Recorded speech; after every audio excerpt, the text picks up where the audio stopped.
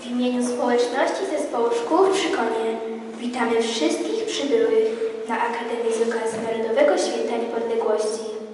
Nasza szkoła po raz kolejny weźmie udział w akcji Ministerstwa Edukacji i Nauki Szkoła do hymnu. Istotą przedsięwzięcia jest wspólne odśpiewanie przez dzieci, uczniów i nauczycieli z różnych szkół i przedszkoli hymnu narodowego w ostatni dzień roboczy przed Narodowym Świętem Niepodległości o symbolicznej godzinie 11.11. W tym roku jest to środa 10 listopada. Do hymnu.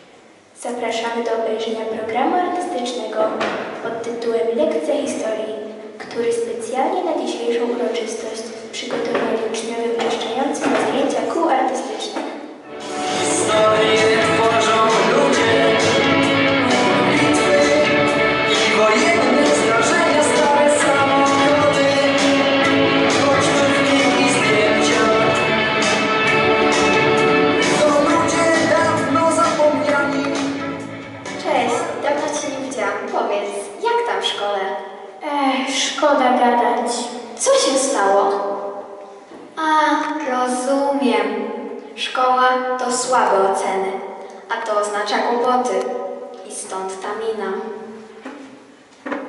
Przecież zbliża się długi weekend. Już niedługo 11 listopada. Dzień wolno od pracy, od szkoły. Odpoczniemy sobie. Akurat odpocznę sobie. Właśnie z okazji 11 listopada mam napisania pracy z historii i języka polskiego. Temat...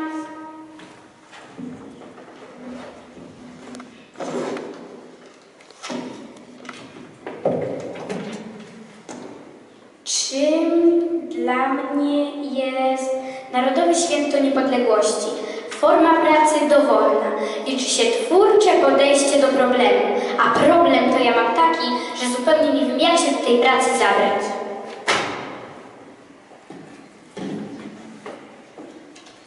Nie przesadzaj. Znam kogoś, kto ci pomoże. Chodź ze mną do mojej nauczycielki historii. Ona wie wszystko o I wojnie światowej, legionach piłsudskim. A w jednym ułanie to się nawet kochała. Kochała? To ile ona ma lat? Oj, nie marudź. Idziemy. Dzień dobry. Przyszłam z koleżanką, która ma ogromny problem z odzyskaniem niepodległości. Jeżeli mamy jakiś kłopot z wolnością i niepodległością, to raczej z jej zagospodarowaniem niż odzyskaniem. Y, to znaczy, przecież niedługo kolejne rocznice odzyskania przez Polskę niepodległości. Jaki masz problem? Właśnie chciałam zauważyć, że kolejna rocznica tego święta to kolejna praca z historii języka polskiego do napisania. Niech zgadnę. Kolejna praca do napisania.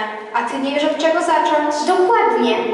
Cóż, wszystkiego się musimy nauczyć. Także naszej historii. Siadajcie, skupcie się i posłuchajcie. Jaka droga wiodła Polaków do odzyskania niepodległości?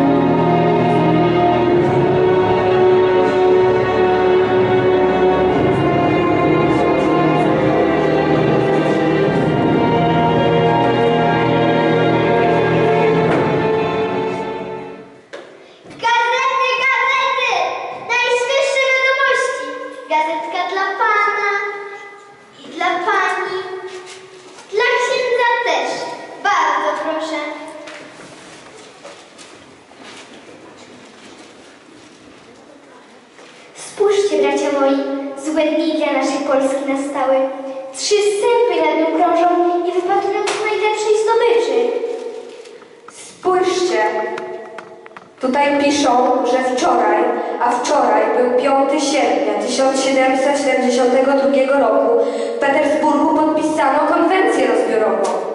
Od naszej ojczyzny Polski, jak toporem odcięto ziemię naszych pradziadów, a braci naszych do innych państw przyłączono.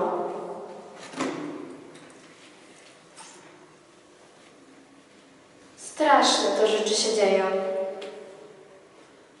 Boże, miej nasz kraj i nas samych w swojej opiece.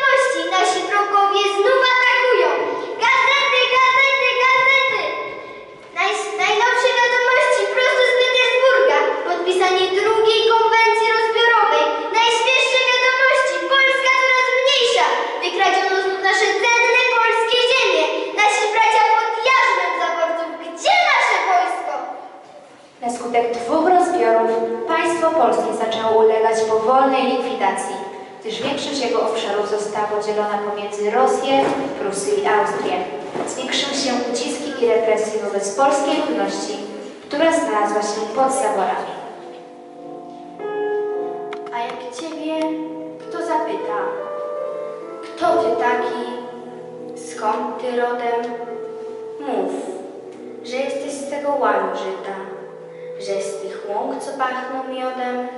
Mów, że jesteś z takiej chaty, co piastowską chatą była, że z takiej ziemi, której kwiaty gorzka rosa wykarmiła.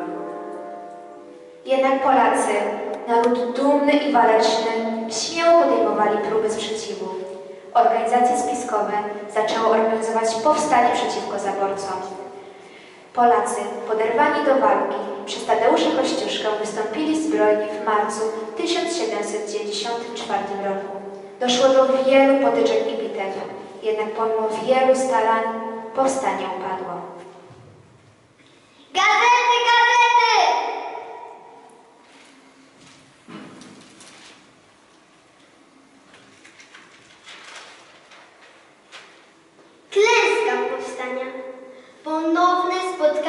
przedstawicieli Rosji, Prusji, Austrii. 24 października 1795 roku Rosja, Prusy i Austria podpisały porozumienie dotyczące podziału ziem polskich. Polska Zniknęła. Z mapy Europy nie było polskiego rządu, ani wojska, ani stolicy. Nie wolno było używać polskiej flagi ani godła. Zamówienie po polsku dzieci były karane, a dorośli trafiali do więzienia. Żegnaj nam, żegnaj droga kraino, żegnaj nam, kraju ojczysty. Niech dzisiaj jeszcze krew i łzy płyną, niech się upoją tyrany.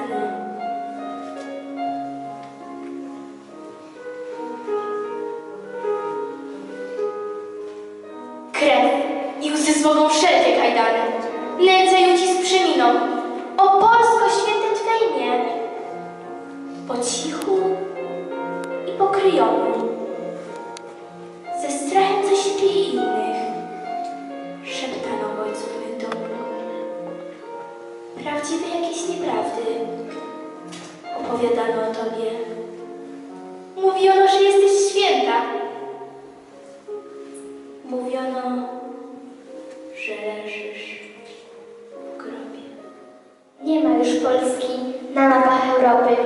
Zaborcy nie pozwalają nam władać naszą mową ojczystą, ale my, rodzice polscy, dzieciom naszym dziedzictwo dawać będziemy, a naszych synów wychowywać będziemy na walecznych żołnierzy i honorowych Polaków. Przysięgamy. My, polscy nauczyciele, pomimo zakazów, polskiej mowy uczyć będziemy. Będziemy krzewić polską kulturę i naukę.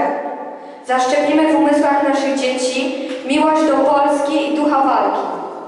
Wychowamy ich na prawych obywateli państwa polskiego. Przysięgamy!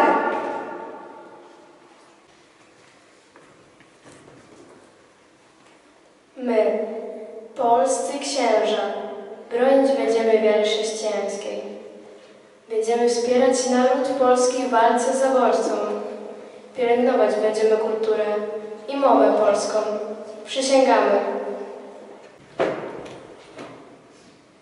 My, żołnierze polscy, pomimo wcielenia nas do obcych wojsk, nie zapomnimy, że nadal jesteśmy Polakami. Do końca swoich dni szukać będziemy przywódcy, który poprowadzi nas do walki o Polskę.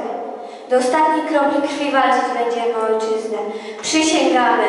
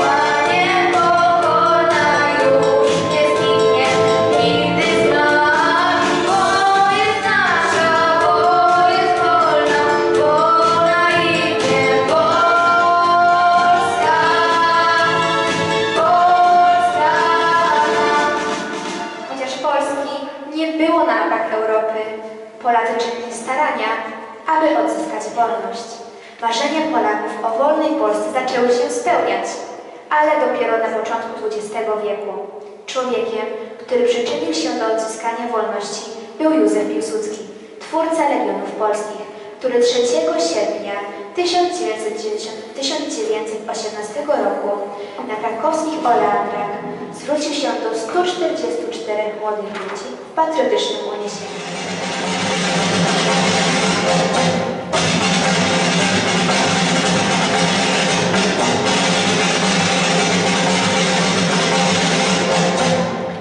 Żołnierze, spotkał was ten zaszczyt niezmierny, że jako pierwsi pójdziecie do królestwa i przekroczycie granice rosyjskiego zaboru jako czołowa kompania Wojska Polskiego, walcząca o oswobodzenie ojczyzny. Patrzę na was jako na kadry, z których rozwinąć ma się przyszła Armia Polska i pozdrawiam was jako pierwszą kadrową kompanię.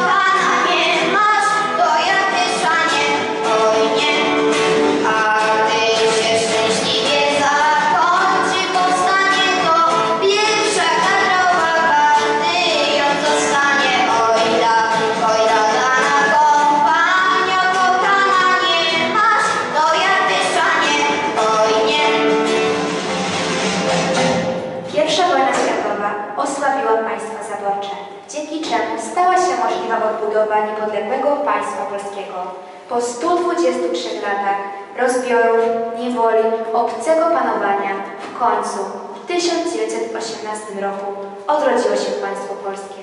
Marzenia Polaków stały się rzeczywistością.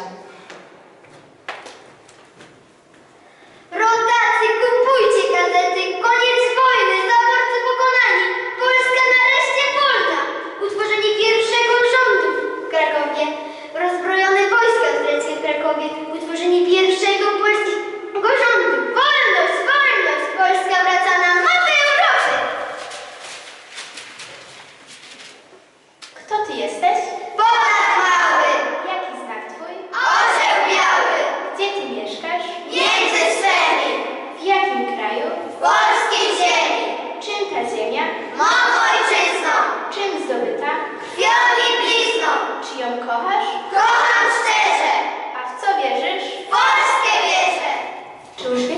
świętować Narodowe Święto Niepodległości.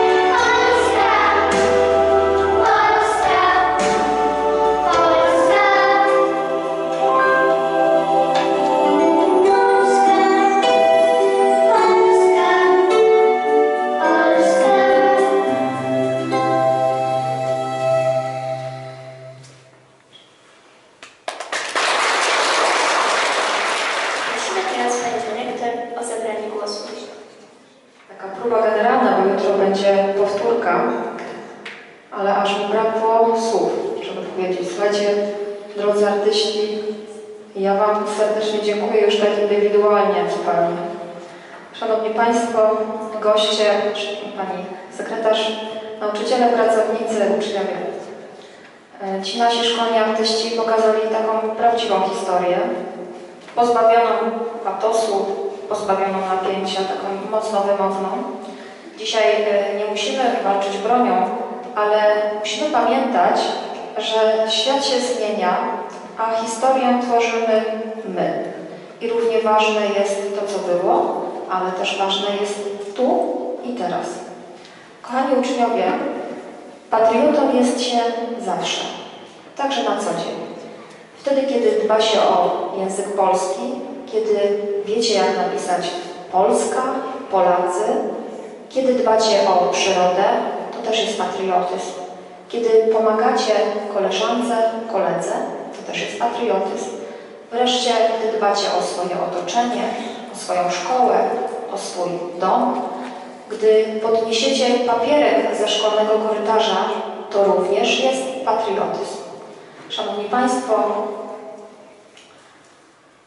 tak sobie myślę, że my dużo więcej wiemy o tej historii niż nasze dzieci, nasi uczniowie, bo być może słyszeliśmy to od naszych rodziców, naszych dziadków, pradziadków. Ale myślę, czym jest współczesny patriotyzm. To nauka. To nauka młodych ludzi empatii, tolerancji, szacunku, zrozumienia, bo jeśli zaniedbamy wychowanie do tych wartości, to w przyszłości spotkamy na swojej drodze lekarza bez empatii, pielęgniarkę bez życzliwości, nauczyciela bez serca, urzędnika bez kompetencji. I dlatego tak ważna jest szkoła i to, co robimy również tu i teraz. Ważne są spotkania, wyjazdy, pielęgnowanie i przeszłości, przyszłości również. I dziś z tego miejsca dziękuję i uczniom, i nauczycielom, i pracownikom, i gościom, bo to, co mogliśmy tutaj zobaczyć, to jest wynik wspólnego zaangażowania. Bo sami wiemy, jak trudno teraz, w dzisiejszych czasach, zorganizować coś, właściwie nie wiedząc, co będzie jutro, co pojutrze. Ale się to udaje w różnych warunkach. I za to wspólne bycie, za wspólne przeżywanie tej uroczystości serdecznie dziękuję. I myślę, że z całą odpowiedzialnością mogę dzisiaj powiedzieć, że nasze wspólne zaangażowanie, to co robimy, to jest również patriotyzm. Dziękuję.